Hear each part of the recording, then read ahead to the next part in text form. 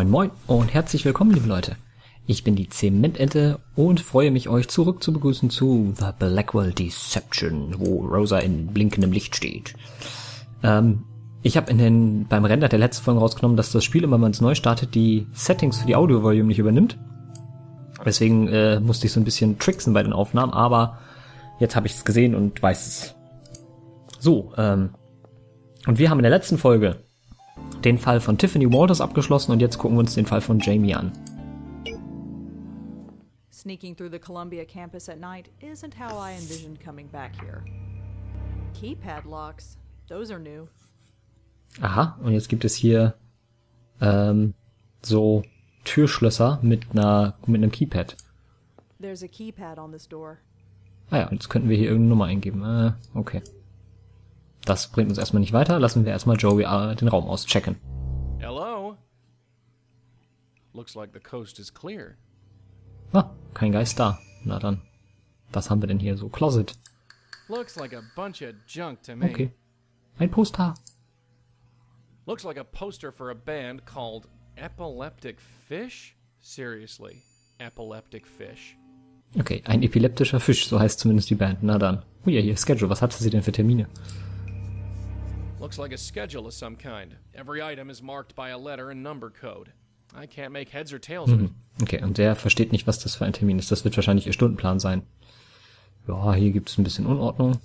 Well, we've learned one thing by coming here. Jamie's a slob. Ja, Jamie ist unordentlich. Strange Case. I have no idea what this thing is. Sieht aus wie ein Laptop, aber Joey hat natürlich keine Ahnung, was das ist. Hier ist noch eine Note. It says Remember Waterloo. Okay, gut, dann, äh, ja. Ne? Rosa, Waterloo. Freund Ugel, löst alle unsere Probleme. Waterloo. Der Kampf um Waterloo. Der Kampf um Waterloo wurde im Juni 1815 gekämpft in der Nähe von Waterloo, wo heutzutage Belgien liegt. Ähm, damals noch Teil der United des, des, der, des von der UK und den Niederlanden. Okay, interessant. Und was bedeutet das für uns? There's a keypad on this door. Wir sollen ja immer Waterloo remembern. Plupp. Und so kommen wir rein. Oh, altes Radio. This is really old. It's got a cassette player and everything. Ah ja. Does anyone listen to cassette tapes anymore? It must be something she had as a child. Ah ja, und dieses alte Radio scheint äh, so alt zu sein, dass es noch Kassetten hat und das muss sie deswegen als Kindertag noch haben. No point. It doesn't even have a tape inside. Okay. It must have sentimental value of some kind. Aha, das muss also irgendwie einen sentimentalen Wert haben. Na dann. Oh, Schuhe. I'm not here to steal shoes. Oh. Ouch.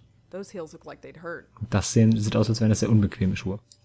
It's full of makeup, nail polish, eyeliner, hairspray. I guess that's college for you. Ah ja, und hier ist Hauptsache vor allen Dingen Schminkzeug. Okay, äh, Textbücher.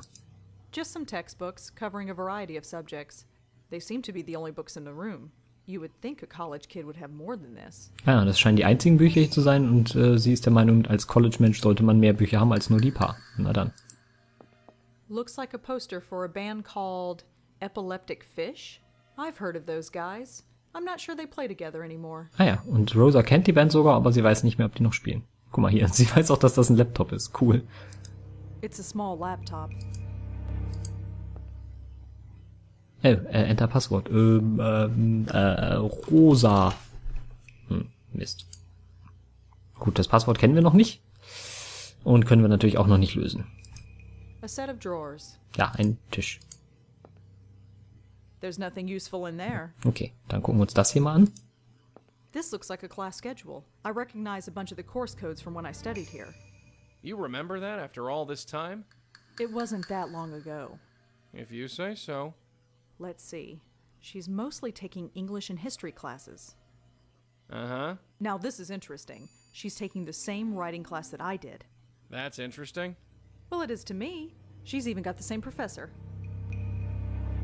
Aha. Und ja, ähm, Jamie hat sich anscheinend für Englisch und Geschichte inst- äh, interessiert und auch fürs Schreiben. Und sie hat denselben Schreibkurs genommen wie Rosangela und deswegen erinnert sie sich an einen Namen. Nämlich, äh, wie hieß die gute? Elaine Appleton. Elaine Appleton. So, ne? Genau. Ja, Columbia University English Department, blablabla, kreatives Schreiben, äh, Stunden, blablabla, blablabla und eine Telefonnummer. Und jetzt haben wir, glaube ich, Genau, die Telefonnummer hier. Jetzt können wir die anrufen. Haha, Success. Hello? Hi, is this Elaine Appleton? That's me. Who's this? Rosangela Blackwell. I was in your class around 10 years ago. Rosangela. Yes, yes, of course I remember you. It's been a long time. I saw you had a book published. Is that right? Something like that. Do you have a few minutes?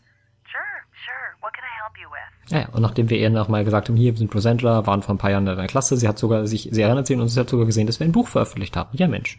Und wir dürfen helfen. Ähm, warum erinnert sie sich an uns? I'm surprised you remember me after all this time.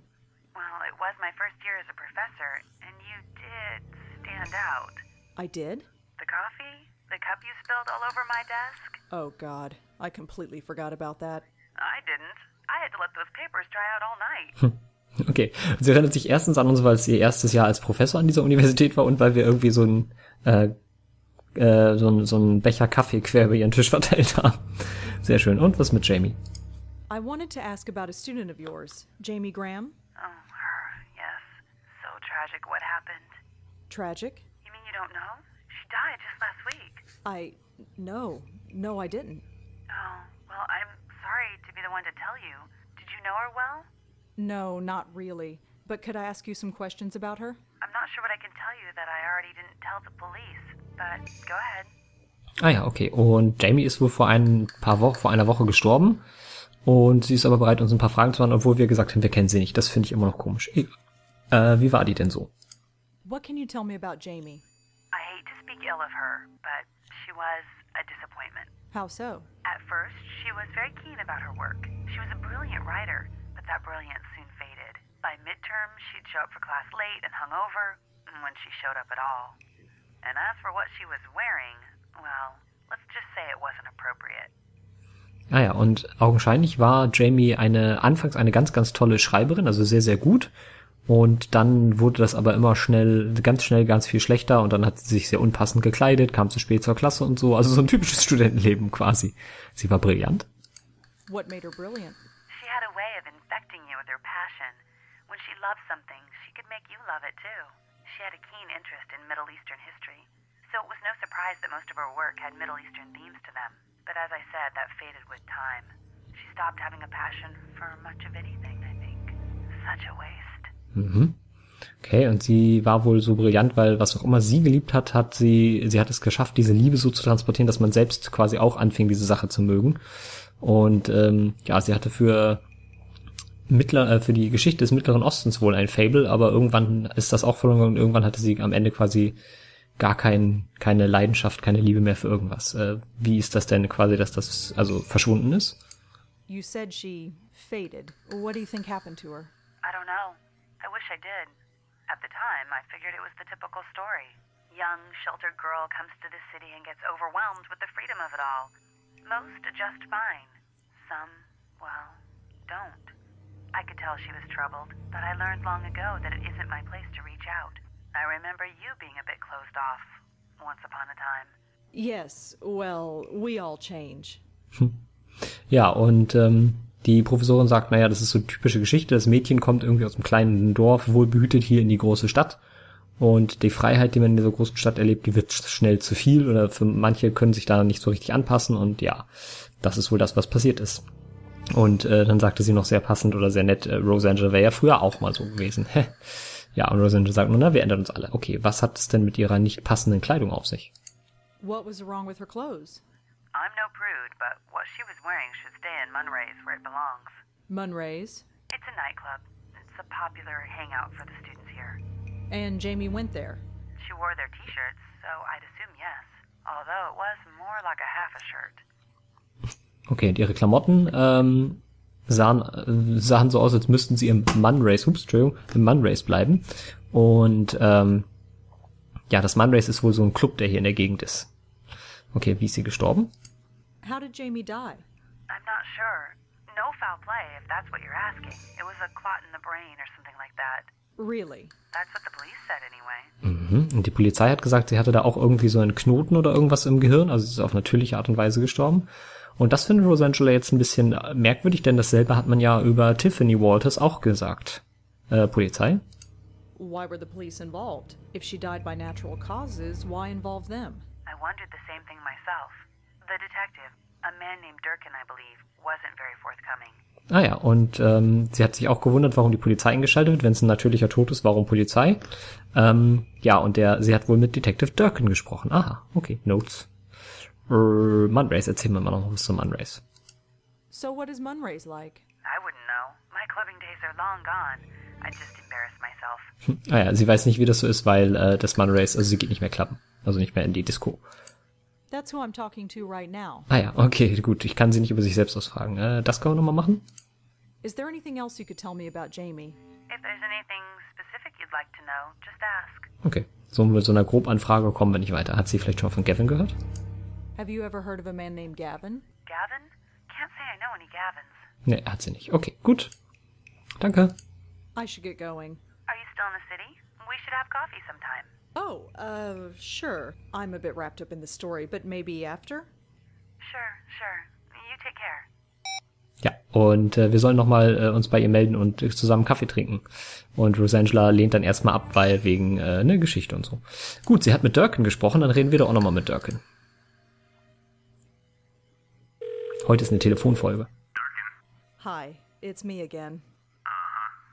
Ähm, fragen wir mal nach Jamie. Guck, können wir jetzt. Haha. I wanted to talk to you about Jamie Graham. Jamie, a Columbia student. I was told you were looking into it. You get around, don't you? I think Jamie and Jeremy might be connected. Could we talk somewhere? Why should I do that? Look, you owe me, and I might be able to help you out again. You could, huh? Like you said, I get around.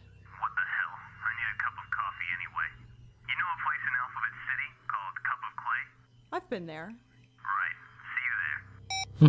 Okay, und jetzt haben wir einen Termin mit dem Durkin gemacht.